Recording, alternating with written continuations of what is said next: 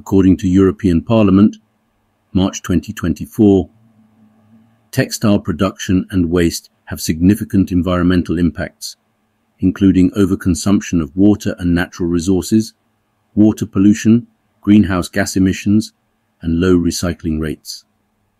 Fast fashion exacerbates these issues by promoting mass production and consumption of low-quality items. To address this, the EU aims to reduce textile waste, increase recycling, and promote sustainable practices through eco-design requirements, extended producer responsibility schemes, and consumer education. Proposed measures include stricter regulations, improved collection and sorting systems, and targets for waste reduction.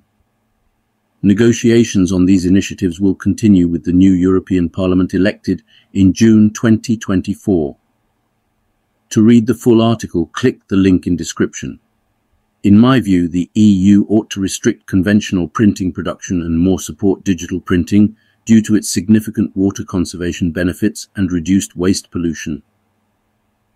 Furthermore, the emphasis should be on promoting and incentivizing the production of digital dyeing fabrics, which can save over 70% of water and result in less polluted wastewater.